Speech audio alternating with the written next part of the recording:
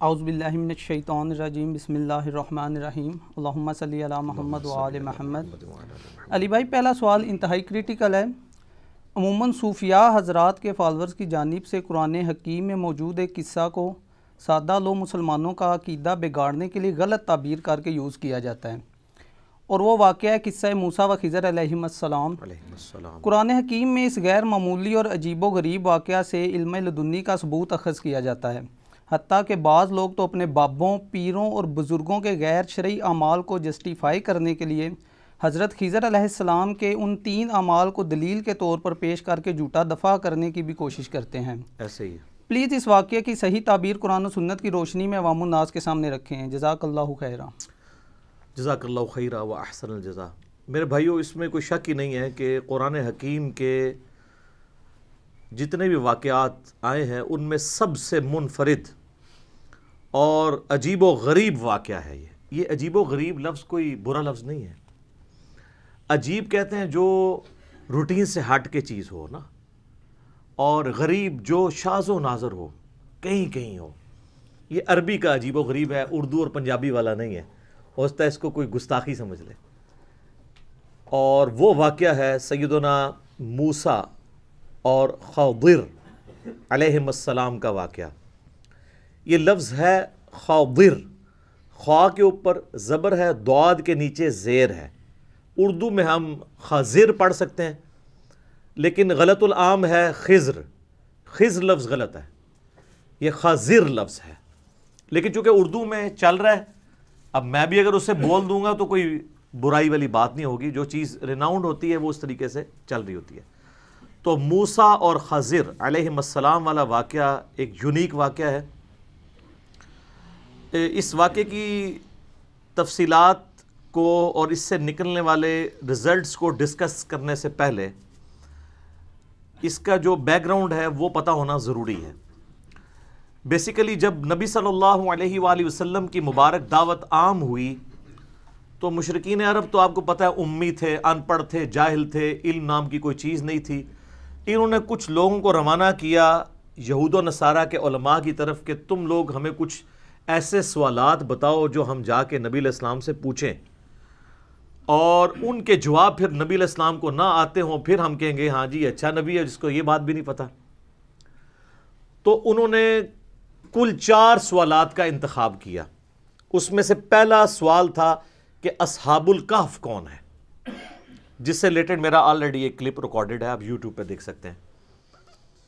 दूसरा सवाल उन्होंने किया कि ये मूसा और खजिर अलैहिस्सलाम वाला वाक़ इसकी क्या हकीकत है? और तीसरा जुलकर नैन जो बादशाह है, जो यहूदियों के लिए एक मुंजी और निजात दहिंदा की हैसियत रखते थे, उनका वाक़ क्या है? और चौथा सवाल था, रूह की हकीकत से मुतालिक।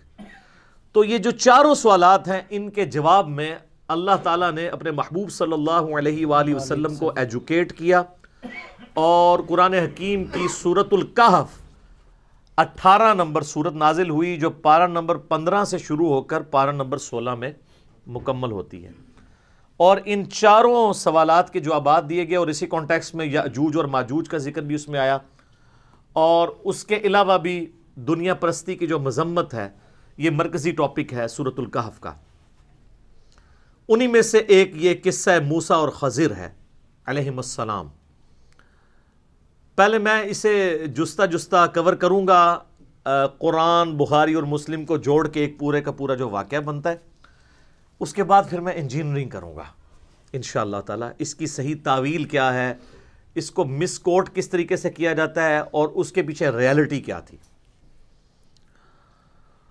ये वाक़ सूरतुल कहफ के अंदर 23 आयात के ऊपर फैला हुआ है।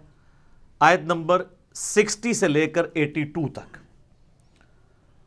और पारा नंबर 15 के ऑलमोस्ट आखिरी हिस्से से शुरू होकर 16 नंबर में ये वाला पोर्शन ख़त्म होता है, सूरतुल काफ का। आयत नंबर 60 से 82 तक, जिसमें किस्सा मूसा और खज़र है अलैहिस्सलाम और इसका जो कॉन्टेक्स्ट है वाक़े का, वो कुरान में नहीं है। वो कॉन्टेक्स्ट सही बुखारी और सही मुस्लिम के अंदर मौजूद है।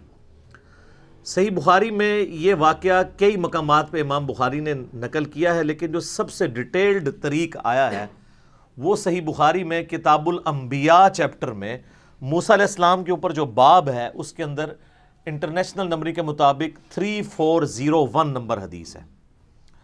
और मुस्लिम शरीफ के अंदर ऊपर तले छः तुरुक आए हैं सैदना मूसा और खजिर अलैहिस्सलाम के वाक़े से रिलेटेड। इंटरनेशनल नंबर के मुताबिक 6163 से लेकर 6168 तक। कॉन्टेक्स्ट बुहारी और मुस्लिम में आया और वो कॉन्टेक्स्ट ये आया है कि नबी सल्लल्लाहु अलैहि वसल्लम फरमाते हैं कि एक दिन मूसा अला नबी नबीना सलाम बनी इसराइल को वाज कर रहे थे, नसीहत कर रहे थे, उसी दौरान एक शख्स ने खड़े होकर पूछा कि इस वक्त दुनिया में सबसे बड़ा आलिम कौन है? सबसे ज़्यादा इल्म किसके पास है? तो ज़ाहिर इसका जैनवन जवाब यही है कि वक्त के पैगंबर के पास, जो उस वक्त खुद मूसा सलाम थे। तो ये क्लियर कट यही जवाब बनता था और मूसा सलाम ने भी यही जवाब दिया कि इस वक्त सबसे बड़ा आलिम मैं हूँ। लेकिन सर, पैगंबरों की शान इससे बड़ी अरफा वाला होती है। पैगंबर गॉड ओरिएंटेड होते हैं। अल्लाह ताला को ये मूसा इस्लाम का जवाब नापसंद हुआ और बुखारी मुस्लिम के अल्फाज हैं। इस जवाब की वजह से अल्लाह ताला ने उन पर अताब फरमाया, गुस्सा फरमाया कि तुम तो पैगंबर थे, तुम्हें चाहिए था, तुम इल्म को अल्लाह की तरफ़ मंसूब करते। ज़ाहिर मूसा इस्लाम ने आगे से कोई जस्टिफाई नहीं करना था कि या अल्लाह ये तो मखलूक की बात हो रही थी, तेरा और मेरा कंपैरिजन ही कोई नहीं है। लेकिन पैगंबरों से ये एक्सपेक्ट किया जा रहा होता है कि वो गॉड ओरिएंटेड हो, क्योंकि उन्होंने मखलूक को गॉड ओरिएंटेड करना होता है। यहाँ आपके बाबे दावे करते हो बाबे तो सर की नज़र भी नहीं आते दूर दूर तक।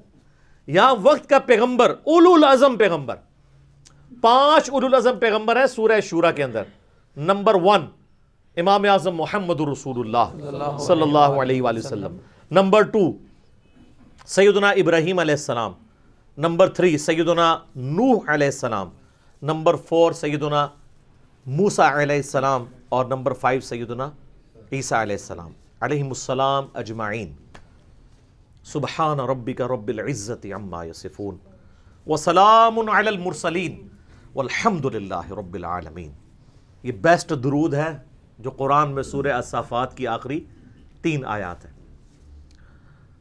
तो अब अल्लाह ताला ने फिर कहा कि मूसा, अब मैं तुझे एक ऐसे बंदे से मिलवाऊँगा जिसके पास ऐसा इल्म है जो मैंने तुझे भी नहीं दिया हुआ। अल्लाह अकबर।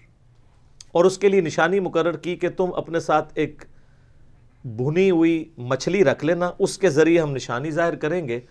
और हमारे उस बंदे से तुम्हारी मुलाकात होगी उस जगह पर जहाँ पर दो दरिया आकर मिलते हैं। वहाँ पर तुम्हें हमारा वो बंदा मिलेगा। ये जितनी बातें मैंने की हैं, ये बुखारी और मुस्लिम में है।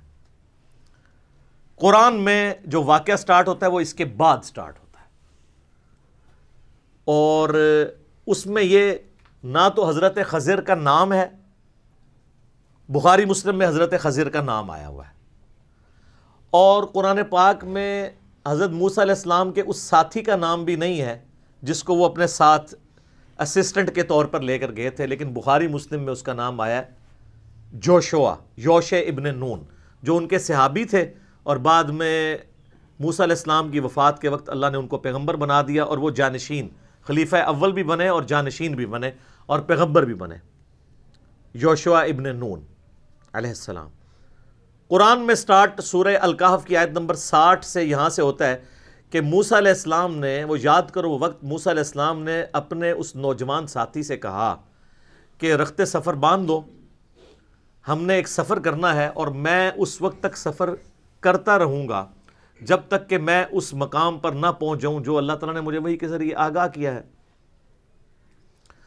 तो वो दोनों चल पड़े। अब ये जो आगे की स्टोरी है ना, ये सारी कुरान के अंदर आती है। लेकिन कॉन्टेक्स्ट बुहारी मुस्लिम में था। तो वो अपना साजो सामान साथ रखते हैं, रास्ते का खाना भी। आपके बुज़ुर्ग जो है, वो कई कई साल तक बगैर खाए पिए ज़िंदा रहते हैं। जो बुज़ुर्गों के बुज़ुर्ग हैं, वो अपना खाना भी साथ लेके चलते हैं। ये मैं आपको साथ साथ फ़र्क बताऊँगा, क्यों? ताकि ताकि मरने से पहले ए मुसलमान, कर ले इस पे गौर। किताबों का खुदा और है, बाबों का खुदा और। ये तो छोटी चीज़ है, बुखारी और मुस्लिम में हदीस है कि नबी इस्लाम की मुबारक ज़िंदगी का जब चालीसवां साल शुरू हुआ तो हज़रत खतीजा भी नबी इस्लाम को खाना बाँध के दिया करती थी गारे हिरा में जाने के लिए।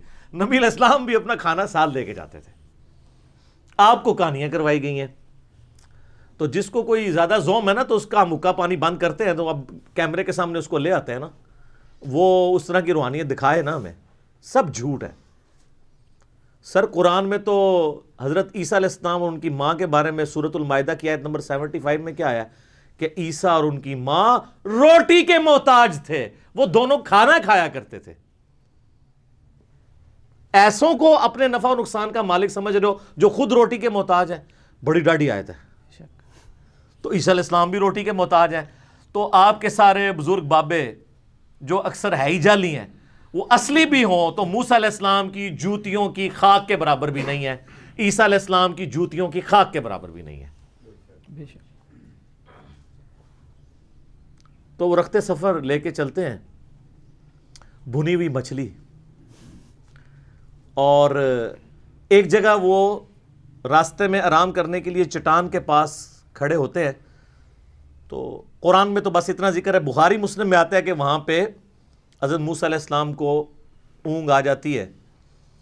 और इसी दौरान वो जो मछली, भुनी हुई मछली है, कुरान में ये ज़िक्र भी है कि वो भुनी हुई मछली जो है, वो ज़िंदा होकर पानी के अंदर चली जाती है। ये अब वो निशानी थी, मुर्दे का ज़िंदा होना। ये मंजर योशो इबन नून देख रहे होते हैं। लेकिन वो मूसा इस्लाम को बताते नहीं, क्योंकि वो उनके आराम में खलल समझते हैं। जब मूसा इस्लाम उठते हैं तो योशेब ने नून भूल जाते हैं ये बात। और सूरतुल काफ में आता है कि वो जब बाद में उनको जाके याद आता है, वो कहते हैं, मुझे शैतान ने बुला दिया था। आगे जब चलते हैं ना तो हज़रत मूसा इस्लाम कहते हैं, मुझे थकावट हो रही है तो वो जो खाना है, वो तो खिलाओ ना मुझे। तो वो कहते हैं, हज़रत, वो खाना तो जब हम वहाँ रुके थे ना चट्टान के पास तो वो मछली जो है ना मैंने देखा ज़िंदा हुई और पानी में छलांग लगी। और न क्या तेरा भला हो जाए, अल्लाह के बंदे। वही तो वो जगह थी जहाँ में वो बंदा मिलना था। तो कुरान के अल्फाज हैं, वो उल्टे कदम वापस पलटते हैं। अब मूसा इस्लाम को भूख भी भूल जाती है, क्योंकि असल तो चीज़ वो है। अच्छा डॉक्टर सरार साहब जब ये वाक्य बयान कर रहे थे ना बयान कुरान में तो कहते हैं कि यहाँ पे उलमा और बुज़ुर्गों ने बताया है। कि हज़रत मूसा इस्लाम को थकावट इसलिए हुई कि वो उससे आगे चले गए थे जो अल्लाह ने उनके लिए जगह मुकर की थी। पहले उनको थकावट नहीं हुई। तो अब वो फौत हो चुके हैं, अल्लाह ताला उनकी मफरत करे, हमारे उस्ताद हैं। सर, ये बुहारी मुस्लिम में लिखा है कि नबी इस्लाम ने फरमाया है कि हज़रत मूसा इस्लाम को थकावट इसलिए हुई कि वो उस मकाम से आगे चले गए थे। ये बुज़ुर्गों ने नहीं फरमाया। ठीक है? हमारे यहाँ अहदीस भी बुज़ुर्गों के नाम से हैं, उन बुज़ुर्गों के, कि जिन्होंने हदीसों के तर्जमे भी कभी नहीं किए। पढ़ना तो दूर की बात। सर, बुखारी का पहला तर्जमा 1920 में हुआ है। आज सौ सौ साल बमुश्किल हुए हैं और इस्लाम आए माशाल्लाह आप कहते हैं हज़ार साल हो गए।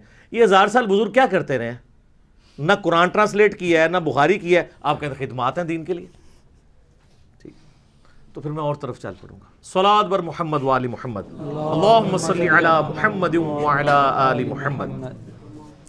अच्छा वो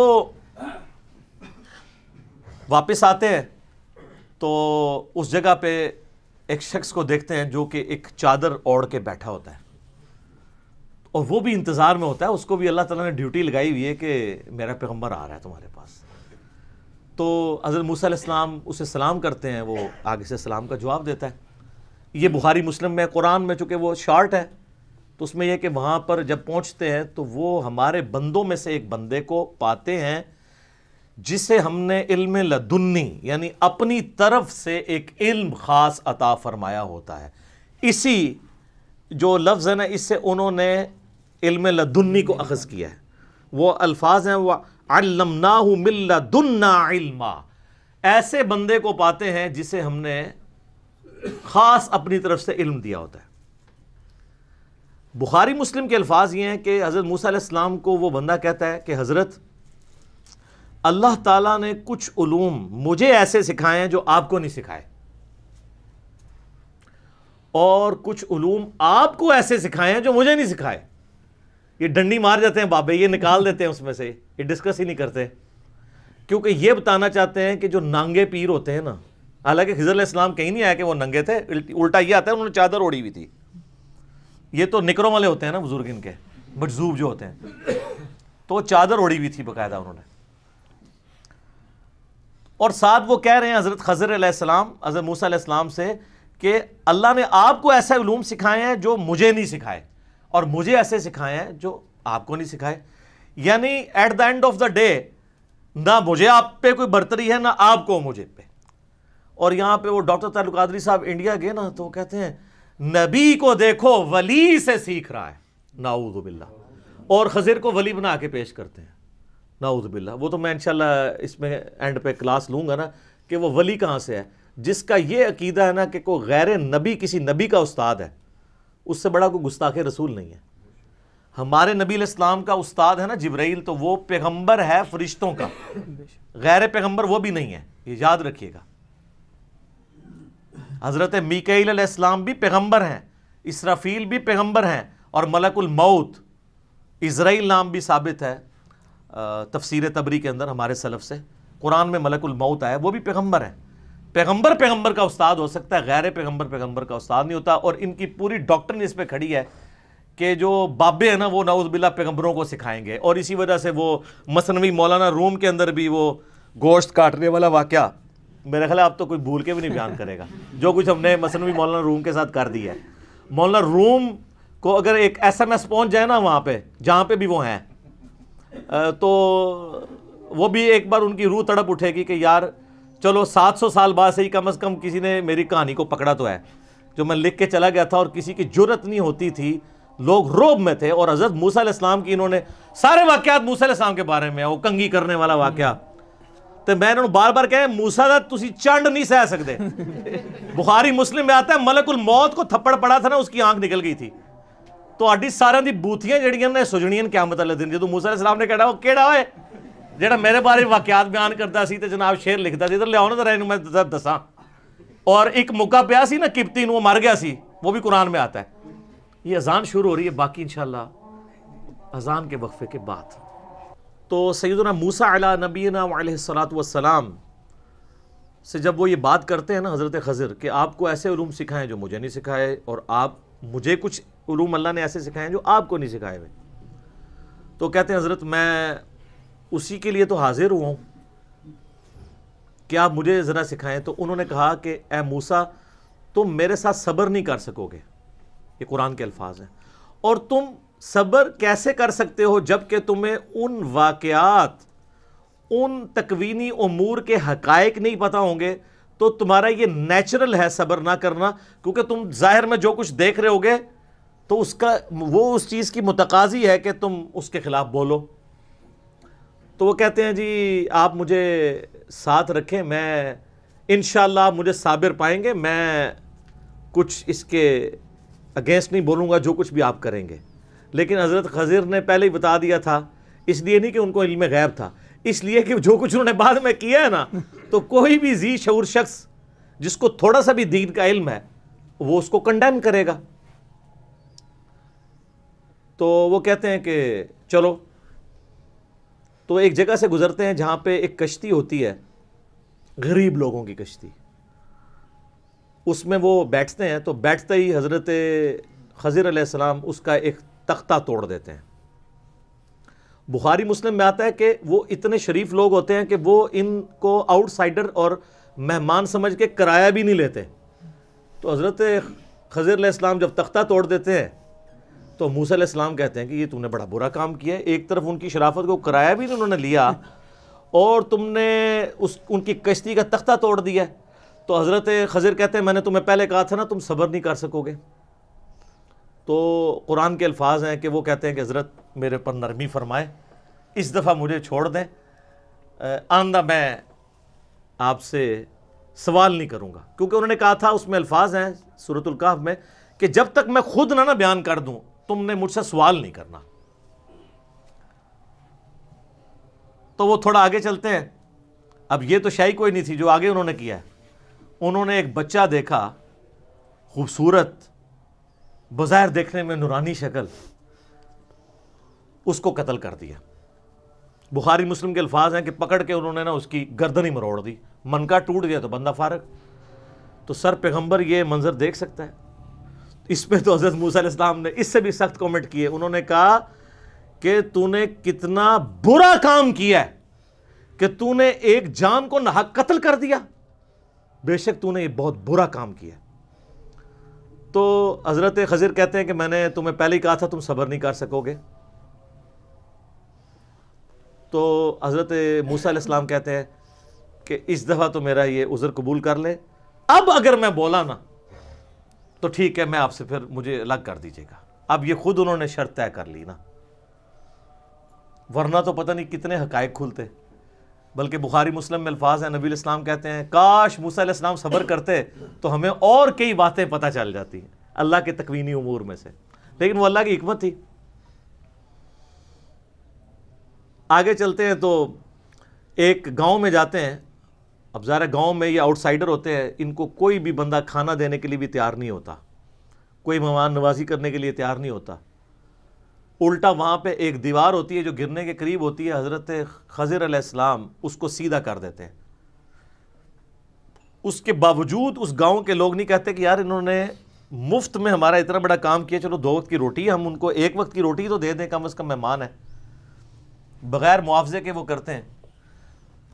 तो हज़रत मूसा कहते हैं, यार तुम इसके एवज ही कम अज़ कम इनसे खाने ही मांग लेते, ये तो ऐसे लोग हैं और तुम इनके साथ ये कर रहे हो। चलो खाना ही मांग लो यार इसके, बस मजदूरी के तौर पे भूख लगी हुई थी ना सर। ये जो दस दस साल तक बगैर खाए पिए ज़िंदा बुज़ुर्ग रहते हैं ना अम्बिया कराम तो ओरिजिनल वाले बुज़ुर्ग होते हैं ना। आपके बुज़ुर्ग थ्योरेटिकल हैं, जो एग्जिस्ट ही नहीं कहीं करते।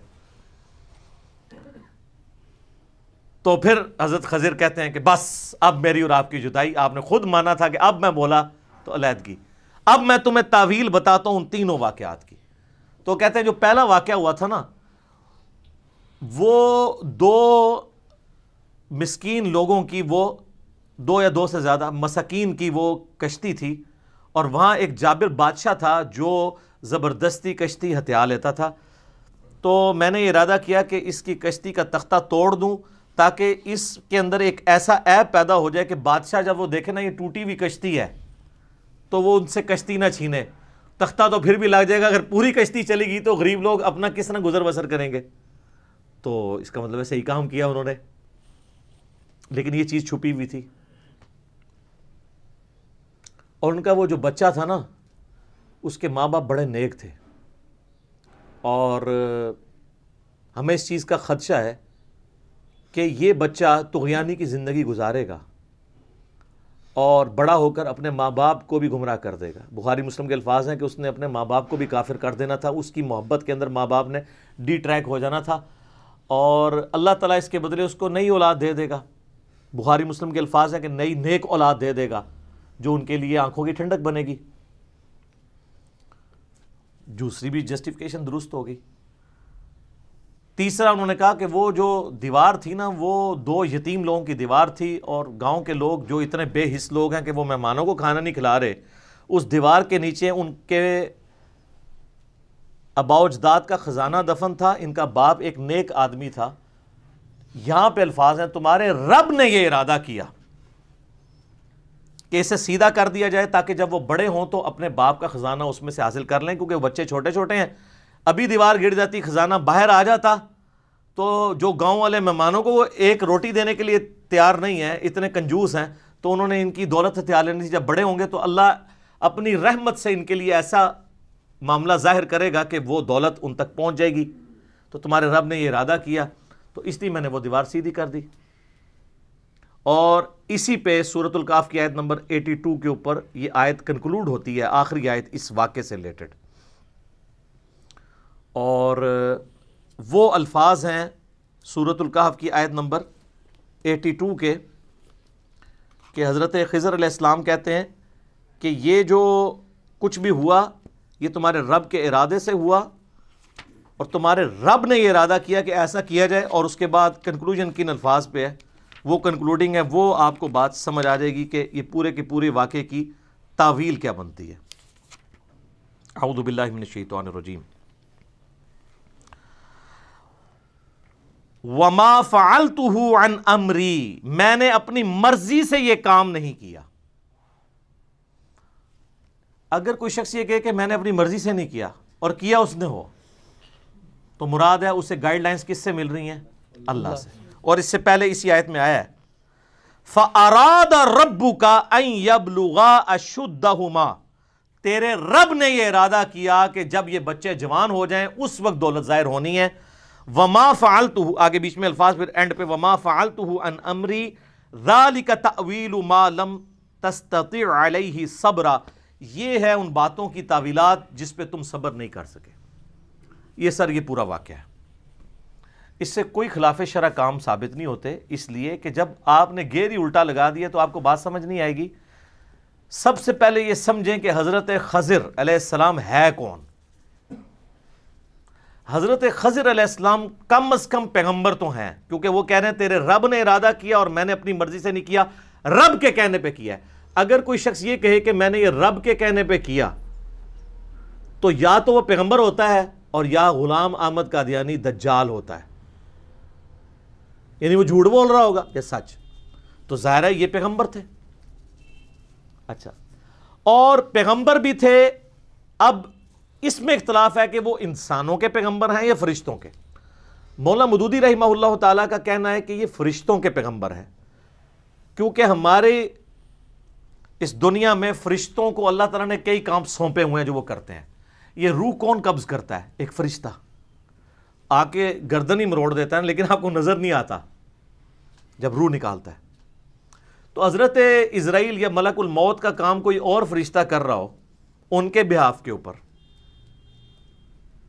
तो हमें नज़र नहीं आ रहा होगा तो हमें कत्ल नहीं नज़र आ रहा होगा। या चूँकि उन्होंने इसराइल को रूह निकालते हुए या उसके नुमाइंदे खजीर को निकालते हुए देख लिया इसलिए उनको अजीब लगा क्योंकि वो इंसानी शक्ल में थे। तो हज़रत मूसम की वो जस्टिफिकेशन दुरुस्त थी। बेसिकली इस वाक़े से अल्लाह ने मसला तकदीर समझाया है कि इंसान की ज़िंदगी में बज़ाहिर कुछ अल्लाह की तरफ़ से ऐसी तकलीफ़ें आती हैं जिनके अंदर अल्लाह ताला की तरफ़ से खैर छुपा हुआ होता है। बज़ाहिर वो शर होता है लेकिन उसके अंदर खैर होता है। वो कश्ती का एक तख्ता टूट जाना शर था। लेकिन इसमें खैर यह था कि पूरी कश्ती नहीं चली गई। पूरी कश्ती चली जाती तो वो ज़ीरो पे आ जाते ना। उनका सोर्स ऑफ़ इनकम खत्म हो जाता। एक कश्ती तो रिपेयर कर लेनी थी। किसी बंदे से उसकी औलाद छीन ली जाए।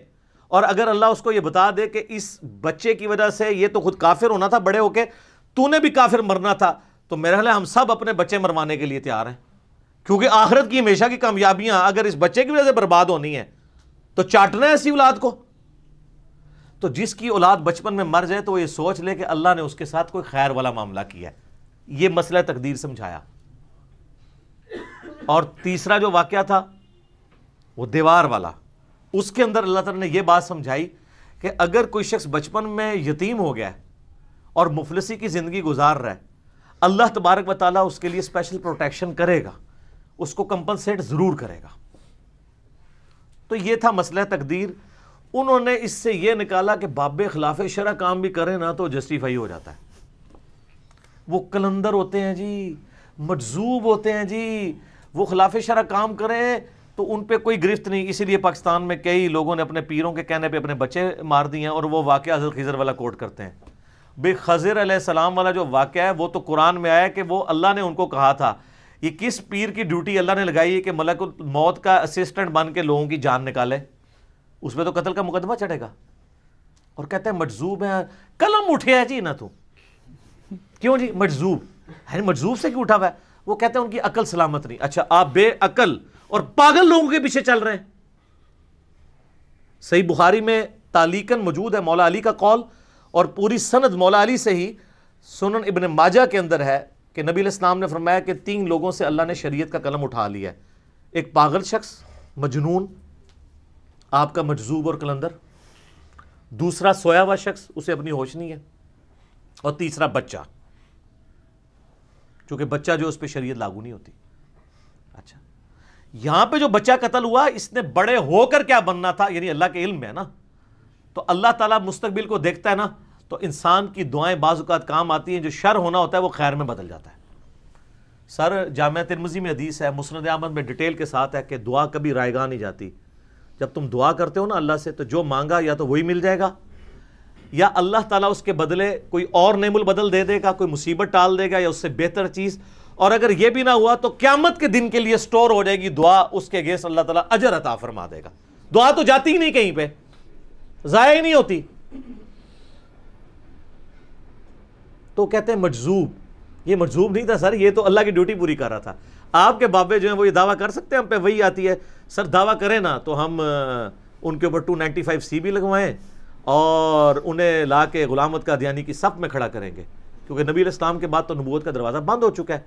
और सूर्य आल इमरान में वाज 179 नंबर आयत है कि अल्लाह की ये शान ही नहीं कि गैर पैगंबर के साथ कोई कलाम करे कोई गैब की खबर दे सवाए अपने रसूलों के, और तुम्हारा काम है अल्लाह और उसके पैगम्बरों पर ईमान लाओ। दैट्स ऑल सैदना अबू बकर से लेकर क्यामत तक आखिरी जो आने वाला इंसान है, सब गैर पैगंबर है। सवाए कि ईसा इस्लाम वो भी उम्मती की हैसियत से आएँगे पैगंबर भी होंगे, उनकी एक्सेप्शन के साथ सबने फॉलो करना है। इवन हज़रत ईसा इस्लाम भी जो आएँगे, उन्होंने भी फॉलो करना है। मुस्लिम शरीफ में हदीस है, वो किताबुल्लाह और तुम्हारे नबी की सुन्नत के मुताबिक तुम्हें चलाएँगे। तो इससे कोई मरजूबी साबित नहीं होती। वो कहते हैं बाबे खिलाफ शरा काम करें ये बीच में कहानियाँ निकालने की कोशिश करते हैं। कोई बाबे नहीं सारे, इससे साबित होते ये बिल्कुल आपको गलत कहानियाँ कराई गई हैं। ये मसला तकदीर समझाना था। और वासिफ अली वासिफ साहब कहते हैं, मैं एक जगह बैठा हुआ था, एक बंदा दुआ कर रहा था रो रो के, या अल्लाह, पच्चीस साल पहले जो मैंने दुआ की थी, मुझसे वापस ले ले। तो कहते हैं, मैंने उससे बाद में पूछा कि क्या हुआ? उसने कहा, मेरी बेटियाँ थी, मैंने अल्लाह से रो रो के एक बेटा मांगा था, वो मेरे लिए वबाल जान बन गया, घर का सारा सामान बेच गया। वो, यानी नशा करना शुरू कर दिया। तो अल्लाह की हमत थी कि मेरी बेटियाँ थी, बेटियाँ तो सारी सही निकली हैं। तो अल्लाह, वो बेटा मुझे वापस ले ले। ये है वो चीज़। और डॉक्टर जाकिर नायक जो अक्सर एक मिसाल से समझाते हैं कि अगर किसी शख्स का अमेरिका में बिज़नेस हो और वहाँ उसकी कोई बड़ी मीटिंग होने वाली हो और उसने शाम की फ़्लाइट पकड़नी हो न्यूयॉर्क के लिए। और जब वो एयरपोर्ट पे पहुँचे तो ट्रैफ़िक सिग्नल या रश की वजह से लेट पहुँचे और उसे पता चले कि वो फ़्लाइट तो उड़ गई है। तो वो वहाँ पर काफ़ी अफसोस मलते हुए कहेगा कि मेरी ज़िंदगी की सबसे बुरी खबर ये है। मुझे मिलियंस ऑफ़ डॉलर का जो फ़ायदा होना था वो नुकसान हो गया कि मैं पहुँच नहीं सकूँगा, वो ठेका किसी और को मिल जाएगा।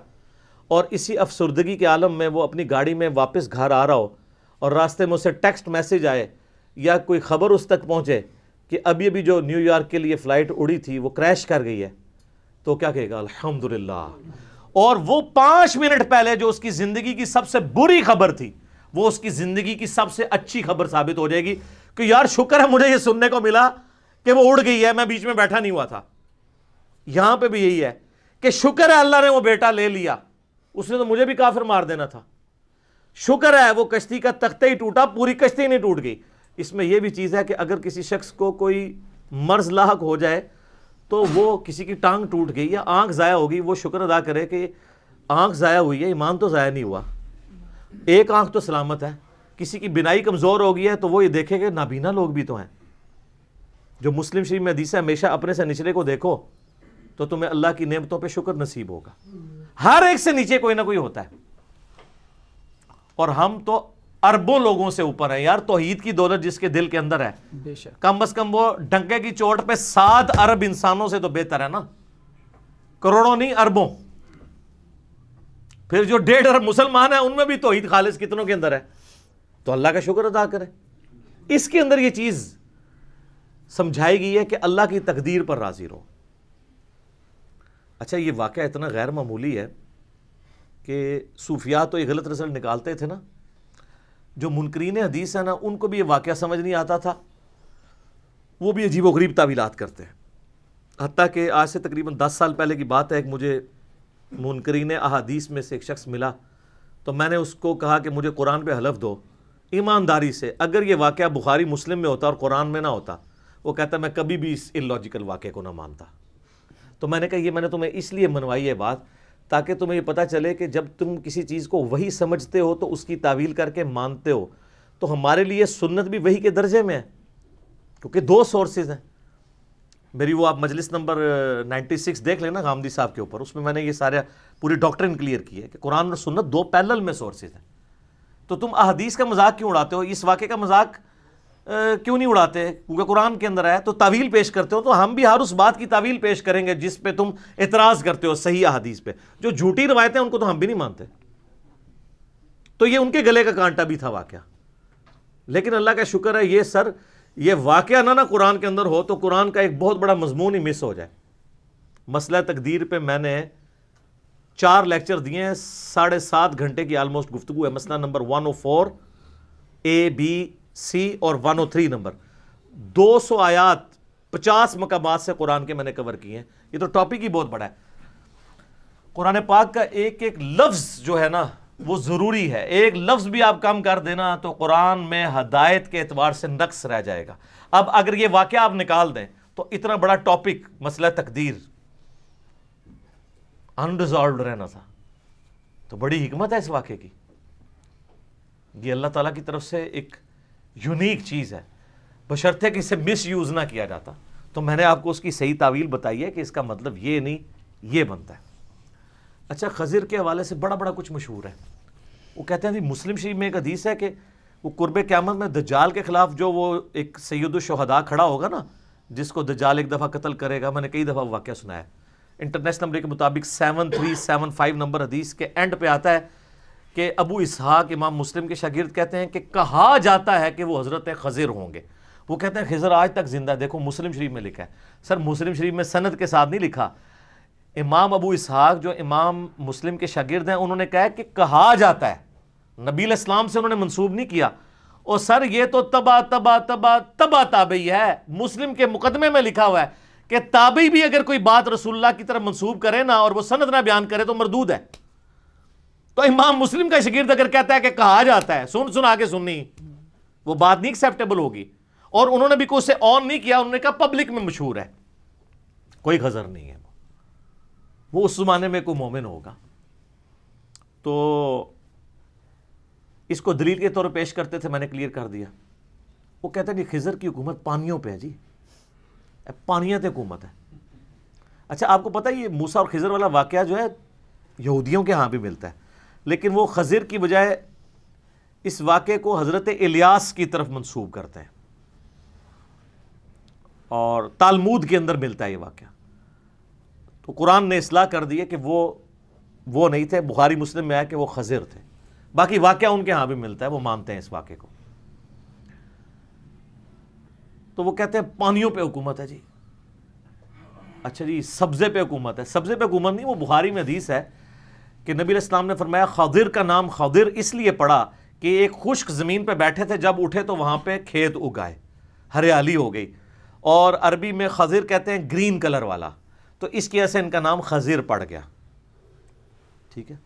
तो वो तो फरिश्तों के साथ है ऐसा मामला। कुरान पाक में नहीं आता। ये बछड़े के अंदर जो वो एक मुट्ठी सामरी जादूगर ने जो डाली थी, वो कुरान में मौजूद है ना कि वो मुट्ठी कहाँ से ली थी?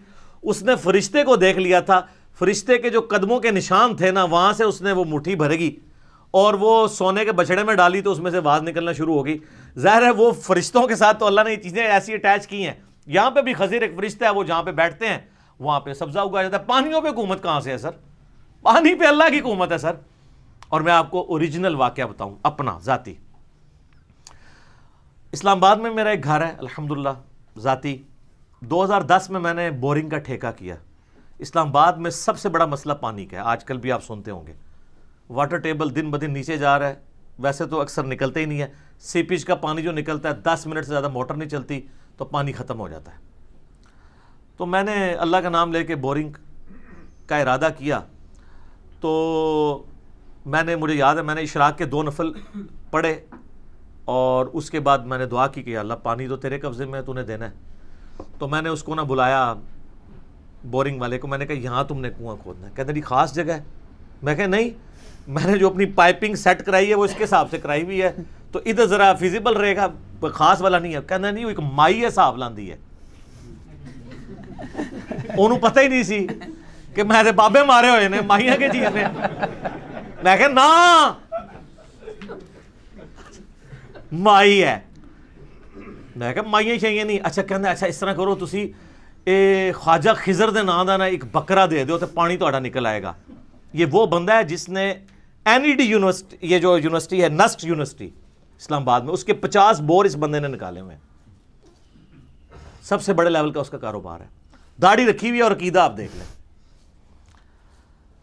ਕਹਿੰਦੇ ਜੀ ਖਵਾਜਾ ਖਿਜ਼ਰ ਦੀ ਪਾਣੀਆਂ ਤੇ ਹਕੂਮਤ ਹੈ ਤੇ ਉਹਨਾਂ ਦੇ ਨਾਂ ਦਾ ਬੱਕਰਾ ਦਿਓ ਤੇ ਇਨਸ਼ਾਅੱਲਾ ਪਾਣੀ ਨਿਕਲੇਗਾ ਉਹ ਮੈਂ ਕਿਹਾ ਖਿਜ਼ਰ ਹੋਵੇ ਜਾਂ ਕੋਈ ਵੱਡੇ ਤੋਂ ਵੱਡਾ ਇਨਸਾਨ अपना पेशाब नहीं रोक सकता मेरा पानी कोई रोक सकता है अल्लाह ने अगर मनु देना है वो कांपना शुरू हो गया उसको कॉन्फिडेंस लेवल नजर नहीं आया था ਉਹਨੂੰ ਪਤਾ ਹੀ ਨਹੀਂ ਸੀ ਕਹਿੰਦਾ ਜੀ ਹੁਣ ਤਾਂ ਤੁਹਾਡਾ ਪਾਣੀ ਨਿਕਲਣਾ ਹੀ ਨਹੀਂ ਲਿਖਾ ਲਓ ਮੇਰੇ ਕੋਲ अच्छा जी मैं कहा यार तू अल्लाह का ना ला के शुरू कर तो चालीस हजार पे ठेका सेट हुआ कि 200 फिट जाएगा वो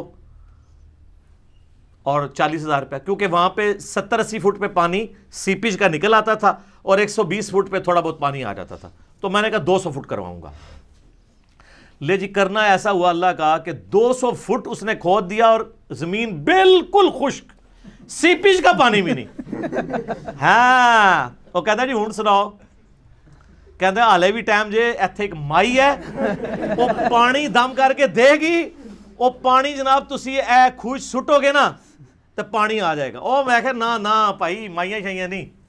कहना जी बस ठेका मुकम्मल हो गया। है मेरे पैसे, मैं क्या जी, ये लो पैसे। मैंने कहा, इसको आप ना और खोदो कहता, पानी नहीं निकलना, आपको बता दिया है, यहाँ पानी है ही नहीं है। और इस्लामाबाद में अक्सर जगह पे पानी होता ही नहीं है। मैंने कहा, आप क्या करोगे? कहता, जी, पंद्रह सौ रुपया एक दिन का लूँगा और खोदूँगा जितना एक दिन में निकला है। अब दिहाड़ी के हिसाब से, ठेके से, अदर, चालीस हज़ार तो दे दिया। मैंने कहा, शुरू करो। पहले दिन उसने दस फिट निकाला। कहना खुश्क मुझे कहना जी हाले भी वक्त से ये तुम किधर और खुदवा लवो इतने पानी कोई नहीं। मैंने कहा यार मैं पेमेंट कर रहा हूँ तुम निकालो। हम्म। अच्छा। अगले दिन क्या हुआ? सुबह सात आठ बजे ने मुझे कॉल आई सर जी मुबारक हो पानी निकला है। और कहते हैं सर इतना पानी निकला है कि मैंने कहा कैसे? कहता है जी 210 तो कल हो गया था ना। आज सुबह आते ही मैंने जब पहली बोकी मारी है ना तो वो पत्थर टूटा है और इतना पानी निकला है कि 50 फुट पानी जमा हो गया नीचे से और वो पानी निकला सर रग का पानी। आपको पता है ज़मीन में एक पानी है जो बारिशों का सीपीज का होता है। वो तो निकालने से ख़त्म हो जाता है और एक है जो ज़मीन के नीचे दरिया चलते हैं। वो कभी भी खुश्क नहीं होते। जैसे कि अगर आपको खाल में मैं सुई चबाऊँ ना तो थोड़ी देर बाद खून निकलना बंद हो जाएगा। लेकिन अगर कहीं नस में सुई लग जाए, फवारा फूटेगा। वो फवारा फूटा था जो पचास फिट खड़ा हो गया। कहना जी बो की मैंने कहा जी 220 पूरी करो। कहना सर, एक फुट नहीं आगे मैं जा सकता। पानी का इतना प्रेशर है कि ये बस इसी पे आपको रोकना पड़ेगा। अच्छा मैं क्या हाँ जी, किधर गए थोड़े खिजर? तो थोड़ी माइया थोड़े तो बाबे? कहता जी, ये वाकई अल्लाह के काम ने। अच्छा एंड से मान लेते हैं अल्लाह के काम ने। जैसे कुफार मक्का भी जब समुंदर में बीच में पहुँचते थे तो कहते थे इधर अल्लाह ही काम आएगा। जो सूर्य यूनुस में आता है। तो मैंने उसको तौबा कराई। मैंने कहा, आंदा, कभी तुमने ये बात नहीं करनी। ये ये मैंने आपको बताया कि खिज़र को हमने भी एक दफ़ा काबू किया है, जो जाली खिज़र इन्होंने बनाया हुआ है। कहते हैं, बुज़ुर्गों को आके मिलता है। हमारे मोहल्ले में भी एक वो तवीज़ आगे करता है ना, वो कहता है, जी, मनु तो मिलते ने। मैं कहती जदों मिलन ना तू पढ़ना, ला वला कुव्वता इल्ला बिल्लाह। गैब ना होए तो मनु फाड़ नहीं कहना रिज तो बस्तफार मैंने कहा, क्यों? कहता जी, ये तो बेदबी है उनकी। मैंने कहा बेदबी कहाँ से है? बुखारी और मुस्लिम में हदीस है कि जन्नत के ख़जानों में से एक ख़जाना अल्लाह ने मुझे दिया है।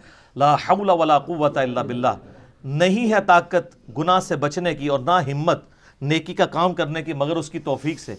मैंने कहा तुम मेरे सामने ला हौला वला कुव्वता इल्ला बिल्लाह पढ़ो मैं गायब नहीं हूँगा हाँ तो खुश हूँगा कि मेरे नबी का बताया हुआ वजीफ़ा जो हमने ब्लू कार्ड पे सुबह शाम के इजकार पे लिखा हुआ है इसमाय आज़म में से असमाय आज़म में से। तो हज़रत खिजर अल्लाह का नाम सुन के गायब हो जाएँगे। ला हौला वला कुव्वता इल्ला बिल्लाह सुनकर कौन गायब होता है?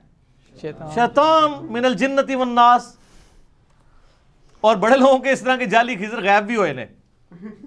एक ओरिजिनल वाक्य मुझे बंदे ने बताया उसने कहा जी इस तरीके से हमने ना एक बंदे को वजीफा बताया वो कहता जी वो दाता साहब मनु रावी दे पुल ते रोज़ाना मिलते ने। तो उनको कहा यार अब आए ना तो तुमने पढ़ना ला हौला वला बिल्लाह। अब वो अली अजमेरी साहब को तो पता भी नहीं है वो शैतान उनके नाम पे आके मिल रहा है उनका कोई कसूर नहीं।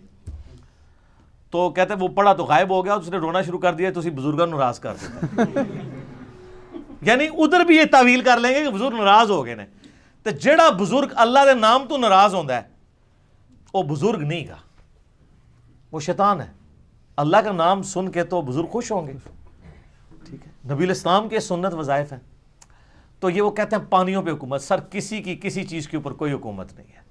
अल्लाह ही अल्लाह है। अल्लाह अकबर कबीर। अलहमदिल्ला कसीर। व सुबहान अल्लाह बुकरत वसीला सर, वो दस फुट के फासले पे ईमान और कुफर था। मेरे उस बोरिंग के। पानी तो निकलना ही था। वो खजिर या माई या बाबे के खाते में डाल जाना था। और अक्सर यही होता है। मेरे एक बड़े करीबी जानने वाले हैं। वो इंग्लैंड से टिकट कटा के पाकिस्तान आए, उनको ख्वाब में, उनकी औलाद नहीं थी। तो ख्वाब में इशारा हुआ कि फ़लाँ बुज़ुर्ग के दरबार पे जाओ तो अल्लाह तुम्हें बेटा दे देगा। सर ख्वाब वो कहते हैं, जी जनाब भी खबर बाकी है। बुखारी, मुस्लिम में हदीस है। अच्छा जी। उसकी किस्मत अच्छी कि वो पहले दिन ही मेरे दर्स में बैठा।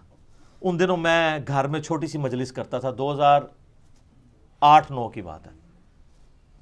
उसने जब दर्द सुना ना मज़ारात के बारे में, कब्रों के बारे में, बाबों के बारे में, उन्होंने कहा, जी, मैं बे औलाद मर जाना है, मैं बाबे किसी को नहीं जाना।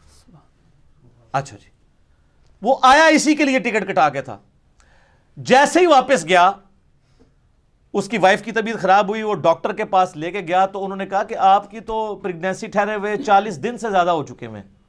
यानी वो ख्वाब से पहले प्रेगनेंसी ठहर चुकी हुई थी। वो बाबे के खाते में डलनी थी, जो अल्लाह की थी। आज माशाल्लाह उनका बच्चा आठ नौ साल का है, अल्लाह ने उनको बेटा दिया तो वो जब ख्वाब आया, उससे पहले ही ये, क्योंकि प्रेगनेंसी का थोड़े दिनों के बाद पता चलता है।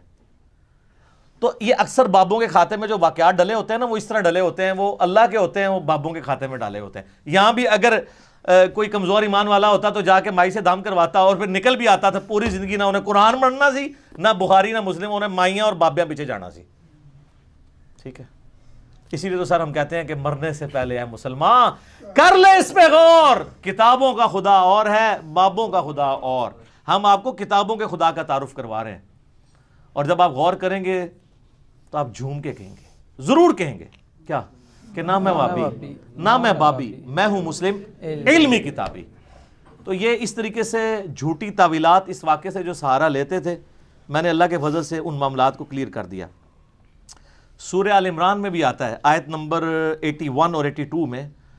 अल्लाह ताला ने आलम अरवाह में तमाम नबियों से अहद लिया था कि ए नबियों जब मैं तुम्हें नबूत दूँ और मेरा कोई और पैगंबर आ जाए तुम्हारी ज़िंदगी में तो तुमने उसकी तस्दीक ज़रूर करनी है और इस पर मुझसे वादा करो और भारी ज़िम्मा मेरा उठाओ, मैं भी तुम्हारे साथ गवाह होता हूँ।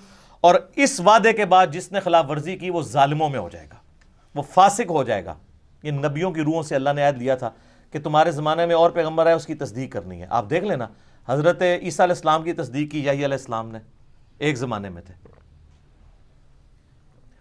तो तावील ख़ास के अतबार से तो ये तमाम अम्बिया के लिए और तवील आम में आप हमारे नबी इस्लाम के लिए इस एतबार से ले सकते हैं कि अल्लाह ताला ने यह अहद लिया था कि अगर हमारे नबी इस्लाम तुम्हारी ज़िंदगी में आ जाए, तुमने उसकी तस्दीक करनी है। और वो अल्लाह ने करवाई है वाक़ मराज में, जो सही मुस्लिम में हदीस है कि तमाम नबियों का इमाम अल्लाह ने बैतुलमक़दस में मुझे बनाया जबरील इस्लाम के ज़रिए।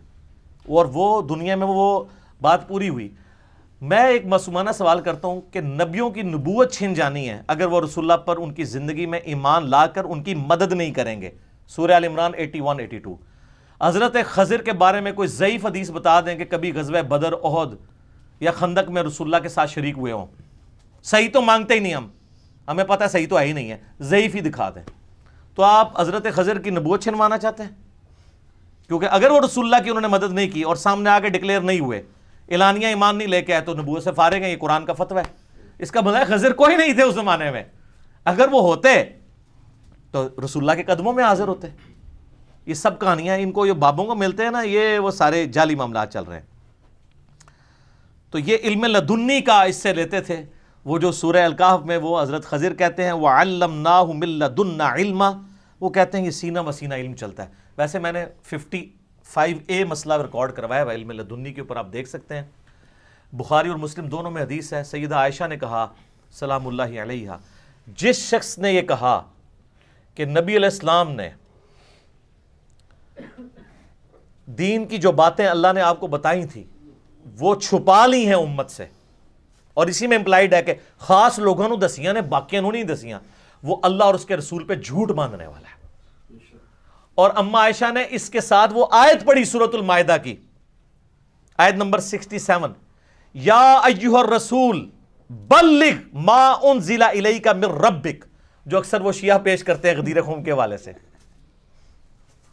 कि ए रसूलुल्लाह, जो कुछ अल्लाह ने आपको वही किया है, वो आप पहुँचा दें अपनी उम्मत की तरफ़। और अगर आपने ना पहुँचाया तो आपने रसालत का हक अदा नहीं किया। तो अम्मा आयशा कहती हैं कि इस आयत के तहत नबी इस्लाम ने कोई बात उम्मत से नहीं छुपाई एलानियाँ बताई है। तो ये कहते हैं, खास इल्म खास लोगों को दिया है। सर, इस उम्मत में अगर कोई सबसे खास बंदा था ना तो मौला अली थे। बुखारी और मुस्लिम मुतफ़ुन हदीस है। मौला अली रदी अल्लाह तसलाम से किसी ने आके पूछा कि, या अमीरमिन आप रसुल्ला के ख़ास बंदे थे, क्या आपको रसुल्ला ने कोई ऐसी ख़ास बातें बताई हैं जो बाकियों को ना बताई हों? हाय हाय हाय अब मैं नबी इस्लाम ने हमें वही दीन सिखाया जो बाकियों को सिखाया है। हाँ एक फहम कुरान है जो हर मुमिन का अपना हिस्सा है कि उसमें से कितना हासिल करता है। ज़ाहिर है जी, आप कुरान पे गौर तफक्र करते हैं, आप पे ज़्यादा राज खुलेंगे। जिसने हमेशा इसको मुर्दे बख्शवाने का ज़रिया समझा हुआ है और कभी तर्जमा पढ़ा ही नहीं, तफसीर पढ़ी नहीं उसको। तो हज़रत अली ने कैटागोरिकल डिनाई किया कि नबी इस्लाम ने मुझे कोई ऐसी खास बात नहीं बताई जो उम्मत को नहीं बताई। फिर उन्होंने अपने तलवार की नियाम में से एक सहीफ़ा निकाला। शुक्र है निकाल के वो दस देता के किया उन्होंने कहा ये नबी इस्लाम ने हमें वसीतें लिखवाई थी कि किसी मुसलमान को काफिर के बदले में कत्ल नहीं किया जाएगा, बल्कि उसकी दियत दी जाएगी, अगर कोई मुसलमान काफिर को कत्ल कर दे। और कैदियों के अहकाम ज़ाहिर कैदियों के अहकाम मौला अली को बताना था ना जगह जमल सिफीन अरमान तो मौला अली ने लड़नी थी ना वो और मुसलमानों के खिलाफ वो जंगें थी ना तो मुसलमान कैदियों के साथ क्या सलूक करना है? ये नबी इस्लाम की ज़िंदगी में तो ऐसा कोई उसवा नहीं मिलता। क्योंकि उधर तो सारे एक लीडर पे मुतफिक थे। तो मौला अली को बताया ना कि कैदियों के साथ क्या करना है? तो देखे ना क्या उसने सलूक किया फिर। जंगे जीत के भी सबके साथ उसने सलूक किया मौला अली ने। और कहा कि इसमें यह भी लिखा है कि जो शख्स अपने बाप का नाम बदल ले, उस पर अल्लाह की लानत, अल्लाह के फरिश्तों की लानत और तमाम लानत करने वालों की लानत। और जो शख्स मदीने में बिदत को जारी करे, उस पर अल्लाह की लानत, अल्लाह के फरिश्तों की लानत और तमाम लानत करने वालों की लानत, जिसका अव्वल मिसदाक यजीद इबन मुआविया बना, मदीने की बेहरमती करके। ये वो बातें थी जो उसमें लिखी थी। और एक और बात लिखी थी कि जो गैरुल्लाह के नाम की कुर्बानी करता है, उस पर अल्लाह की लानत, अल्लाह के फरिश्तों की लानत, तमाम लानत करने वालों की लानत। तो ये सारी बातें तो ऑलरेडी हमें मौजूद हैं कुरान पाक के अंदर अदीस के अंदर, हमें मालूम है। तो मौला अली को भी कोई ख़ास इल्म नहीं दिया, वही इल्म है। और सर, मुझे बताएँ, हजरतुलवदा पे जब नबी इस्लाम एलानिया कह रहे थे, बुखारी, मुस्लिम में यौम नहर का खुतबा भी है और योम अरफा का खुतबा मोतम मालिक और मुस्तदिल हाकिम में कि अपने बाद दो चीज़ें छोड़ के जा रहा हूँ, अल्लाह की किताब और उसकी सुन्नत, उसे मजबूती से पकड़ लो, कभी गुमराह नहीं होगे। और फिर आपने पूछा, क्या मैंने अल्लाह का पैगाम पहुँचा दिया? तो सबने कहा भला यार रसुल्ला आपने पहुँचाया, हक अदा कर दिया। उधर कोई बंदा नहीं खड़ा हुआ कि यार रसुल्ला एडी मैं खास गल दसी है। ओ, मैं अगे दस देव? इलमे लदुनी ना पुरानियां कहानियां पुराने बाबे पुराने फिरके पुराने बुजुर्ग खत्म ਸਾਡੀ ਇੱਕ ਨਾਂ ਨਾਲ ਹੀ ਖਤਮ ਹੋ ਜਾਂਦੇ ਨੇ ਸਾਰੇ ਨਾਂ ਬੜੀ ਕੀਮਤੀ ਹੈ ਇਹ ਤੁਹਾਡੇ ਕਲਮੇ ਹੀ ਤੋਂ ਸਟਾਰਟ ਹੁੰਦਾ ਹੈ ਲਾ नहीं कोई मबूद नहीं सिवाय अल्लाह के ना कोई बुज़ुर्ग नहीं सिवाय मोहम्मद रसूलुल्लाह सल्लल्लाहु अलैहि वसल्लम। और जो उनका हो जाए वो हमारे सर का ताज। और जो उनसे बगावत करे वो बाबा आपको मुबारक। मुझे कहते हैं यार इतने इतने बुज़ुर्गों के नाम इस तरह लेता है जैसे गली मली के दोस्त है। इतने इतने मुफ्तिया के। वो सर हम तो कुछ समझते ही नहीं है तो हम नाम उनका क्यों अदब से ले? हम तो उनको दलाइल से साबित कर रहे हैं कि उनके अकीदे गुस्ताखाना है। शुक्र करें कि हम आगे पीछे लानते लगा के नाम नहीं लेते। एहतराम से ही लेते हैं। साहिब कह के लेते हैं तो खौफ खुदा करे। तो मौला अली ने कहा कि ऐसी कोई बात नहीं। फिर गदीर खूम पे भी आप सही मुस्लिम में ऊपर तले चार हदीस हैं। इंटरनेशनल नंबर के मुताबिक सिक्स डबल टू फाइव से लेके सिक्स डबल टू एट तक। उसमें भी कुरान और अहल बैत है। गदीर खूम पे मेरा क्लिप लाखों लोगों ने देखा, आप देख लें। वहाँ पे भी है कि अहल बैत के साथ उसने सलूक करना है। कुरान अल्लाह की किताब है, इसमें हदायत है, इसमें नूर है, ये अल्लाह की रस्सी है, इसको पकड़ो, अपना ताल्लुक इसके साथ मज़बूत करो, जो इसे पकड़ेगा वो हदायत पे होगा, जो छोड़ देगा गुमराह हो जाएगा। किताबुल्लाह किताबुल्लाह किताबुल्लाह। और दूसरी चीज़, अहल बैत है। मेरे अहल बैत के मामले में तुम्हें अल्लाह का खौफ दिलाता हूँ, आपको बता दिया गया था कि आपकी उम्मत काम डालेगी इनके साथ। ठीक है? तो ये वो चीज़ें थी, वो कभी इल्म लदुन्नी बना दिया, कभी कहते हैं जी, कुछ आपको पता है, वो ख़ास बातें बताई हैं, वो ख़ास बातें ख़ास लोगों को बताई हुई हैं। सर, कोई नहीं है। अच्छा फिर वो कहते हैं, वो जी सही बुखारी में है ना, कि हज़रत अबू रारा कहते हैं, मैंने नबी इस्लाम से दो प्याले लिए हैं, यानी इल्म के। एक, मैंने तुम्हें बता दिया, दूसरा बताऊँ तो तुम मेरी गर्दन काट दो। वो कहते हैं, जो दूसरा नहीं ना बताया, वो इसी किस्म के पुठे काम थे। यानी ये पुठे काम, मैं उल्टे काम। वरना वो बता देते। तो सर, आपके तसवुफ के किस सिलसिले में हज़रत अबू रहरा आते हैं? किसी भी नहीं। तो वो इल्म लदुनी तो अबू रहरा को मिला था। और मौला अली कह रहे हैं कि कोई और नहीं चीज़ है। तो अबू रहरा को आप मौला अली से ऊपर कर रहे हैं? और सर बुखारी में ही उसकी तशरी मौजूद है। हज़रत अबू रहरा कहते हैं, मुझे नबी इस्लाम ने बनु कुरेश, बनु उमैया के उन लौंडों के, उन लड़कों के नाम, उनके माँ बाप के नाम भी बताए हैं, जिनके हाथों उम्मत की तबाही होने वाली है। और सही मुस्लिम के अल्फाज हैं कि नबी इस्लाम से साहबा ने पूछा कि, यार सुलह, जब ऐसा मामला हो तो आपने फरमाया, काश मेरी उम्मत इस कबीले से अलग हो जाए, जो मेरी उम्मत के ईंट से ईंट बजा देगा। बनु मैया और वही अबू रहरा मुस्लिम नबी याला में मौजूद है कि वो कहते हैं, नबी इस्लाम ने अपनी वफात से चंद दिन पहले ख्वाब देखी कि उनके मेंबर के ऊपर बंदर कूद रहे हैं। तो हजूर को वफात तक किसी ने मुस्कुराते हुए नहीं देखा। आप फरमाया कि, मैंने आल मरवान, बनु मैया के बंदरों को अपने मेंबरों पर देखा है, अपने मेंबर के ऊपर। यानी मेरे बाद वो हुक्मरान बनेंगे। और यार ये बंदर थे, बुखारी के अल्फाज हैं कि हज़रत अबू रहरा जिस ज़माने में ये बात कर रहे हैं, उन्हीं बंदरों की तो हुकूमत थी, बनु मैया की। तो हज़रत अबू रहरा डरते थे कि अगर, क्योंकि वो मरवान ही तो ये पूछ रहा था कि हज़रत बताएँ वो लोग कौन है? उन्होंने कहा, अगर मैं बता दूँ तो मेरी गर्दन मार दी जाए। यानी तुम लोग हो, बिल्कुल क्लियर है। इसमें इल्म लधुनी नहीं है। क्या से क्या बना दिया इन्होंने? और देखे कहानी कैसे पकड़ी गई इधर से इधर से पकड़ी गई दूसरी तरफ़ इनके तस्वु के सिलसिले में हज़रत अबू रहा है, कोई नहीं है। वो तो सर मुनाफकीन के नाम भी बताए थे, जो पब्लिकली नहीं बताए गए, लेकिन वो दीन का हिस्सा तो नहीं है। सही बुखारी मौजूद है, राजदार रसूल कौन है? हुजैफा इबन यमान। सही मुस्लिम में मौजूद है, हुजैफा इबन यमान को बारह मुनाफकीन के नाम बताए थे।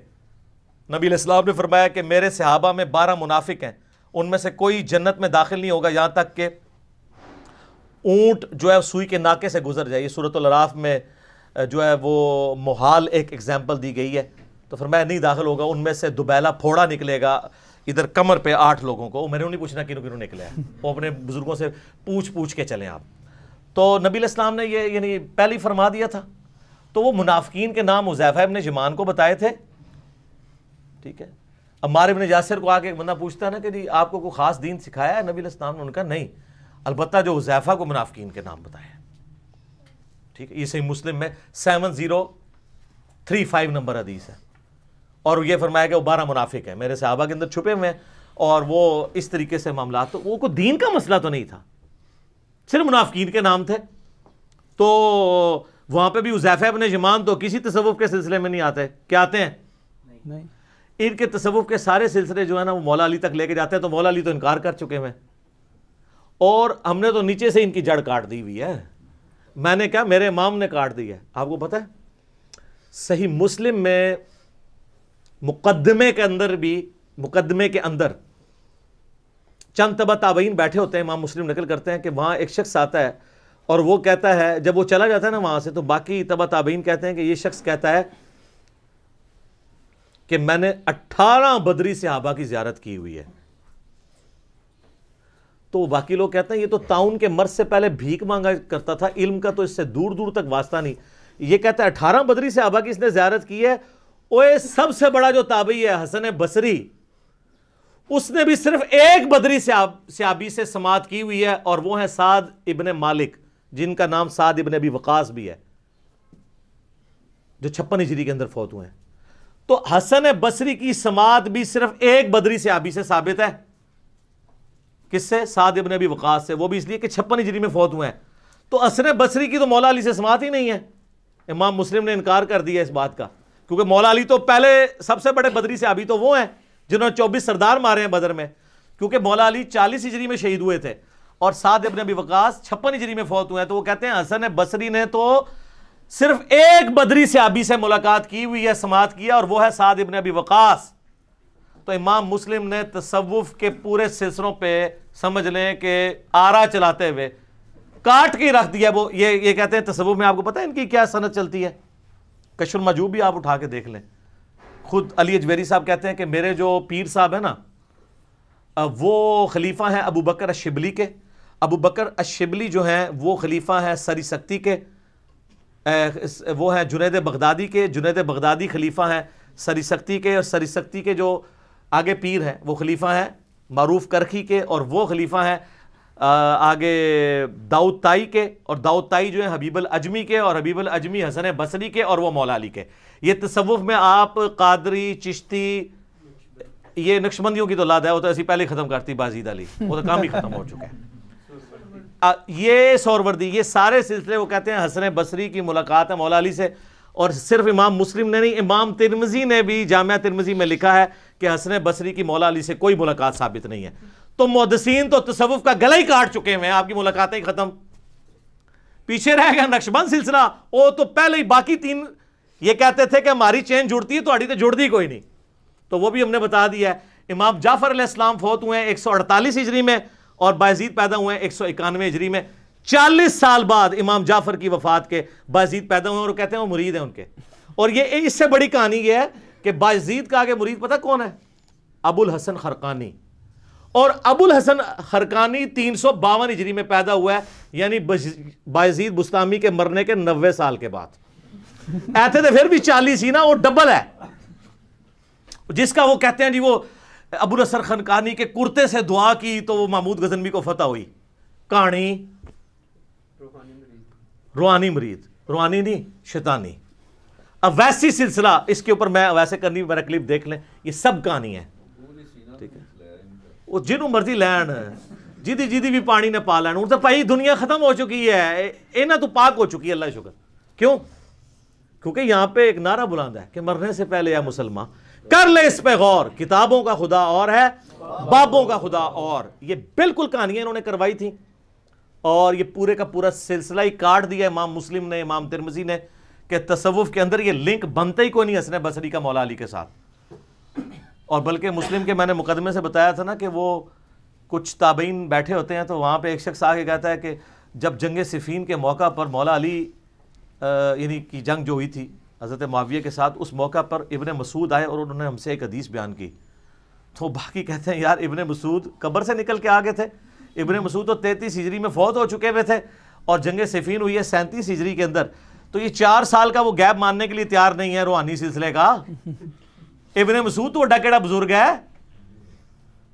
पर्शियन अंपायर गिरी तो चीफ जस्टिस वहाँ के। ठीक है? साहिबुल नालैन, सफ़र हजर में हजूर के साथी। इबन मसूद पे मैं घंटों बोल सकता हूँ जो अल्लाह ने उनको मकाम दिया था। वो कब्र से निकल के नहीं को फैज पहुँचा सक रहे उस जमाने में वो कब्रों से निकला नहीं करता था। तो जो चार साल का गैप मानने के लिए तैयार नहीं तो चालीस साल का जंगल और उधर बाजीद और अबुल हसन खरकानी का नब्बे साल का जंगल, ये कौन अबूर करवाएगा? सब कहानियाँ, सब झूठ। ये अल्लाह तबारक वाली ने ये झूठ ख़त्म करवाए हैं और हमारी कोशिश है कि हम मरने से पहले पहले आपको इसके ऊपर कायल कर लें, क्योंकि ये वाज चीज़ है, कुरान पाक में सूर्य यासीन के अंदर आया सूर्य वाक़ के अंदर आया कि जो मर गया वो दुनिया में वापस नहीं आ सकता। आप लाख कहते रहे कि कब्र पे उठ के बुले फिर अंदर बढ़ गए सब नहीं, सब कहानी है, झूठ। अगर उठ सकता है, उठाएँ हम, जनाब, बुलाते हैं इंटरनेशनल मीडिया को। पूरा मीडिया मुसलमान हो जाएगा। ठीक है? तो बाकी मुझे बहुत कुछ कहना है। लेकिन आप तख्त बिल्किस वाला मेरा क्लिप देख लें, सर। रिमार्केबल क्लिप है। उसके अंदर मैंने इनकी सारी कहानियाँ बाकी भी खोल दी हैं। तो ये मैंने इसलिए बयान किया कि वो ज़्यादा से ज़्यादा जो नबी इस्लाम ने स्पेसिफिक बात बताई, जो बाकी उम्मत को नहीं बताई, वो मुनाफिकीन के नाम है। उज़ैफ़ अबन जमान को। और वो भी डिटेल मुस्ंद अहमद में आपको पता है ना, कुरान में भी इशारतन है कि नबी इस्लाम पे कातलाना हमला हुआ था गजब तबूक से वापसी पे। तो उज़ैफ़ इबन यमान और अम्मार इबन यासिर ने नबी इस्लाम की जान बचाई थी। यानी अल्लाह ने बचाने वाला है, सबब इनको बनाया। वहाँ पे उजैफा इबन जमान को नबी इस्लाम ने मुनाफिकीन के नाम बताए थे कि इन्होंने मेरे ऊपर कातराना हमला किया बस, इसका कोई दीन से ताल्लुक नहीं था, शख्सियात से ताल्लुक था। दीन की कोई बात एज ए राज नबी इस्लाम ने किसी को नहीं बताई है। ये जहन में रखिएगा। जब मौला अली कह रहे हैं कि वही दीन दिया जो बाकी उम्मत को दिया है, अम्मा आयशा कह रही हैं कि वो झूठा है, जो कहता है कि खास लोगों को खास बात बताई और बाकी लोगों को नहीं बताई, वो झूठा है।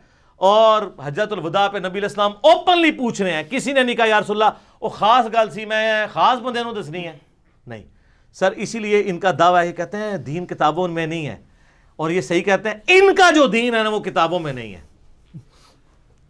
क्योंकि किताबों का दीन और है और बाबों का दी और। और हमें तो पाबंद किया गया है। उल्लाह बितु मिनहा जमीआ, फ़इम्मा यातियन्नकुम मिन्नी हुदा, फमन हुदाया, फला अलैहिम याज़नून।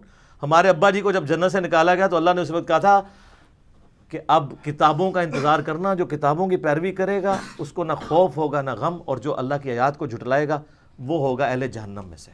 तो सर मैं सबसे रिक्वेस्ट करता हूँ कि मरने से पहले एक दफ़ा मजलिस नंबर हंड्रेड मेरी ज़रूर देखें। किताबों का खुदा और है, बाबों का खुदा और। तो इन ताला आपको ये हकीकत खुल के सामने आएगी कि हमें बड़ा डी ट्रैक किया है इन लोगों ने। हमारी किसी से कोई ज़ाती दुश्मनी नहीं है। हम आम मुसलमान को झंझोड़ रहे हैं। सिर्फ़ ये कह के कि मरने से पहले, ए मुसलमान, कर ले इस पे गौर।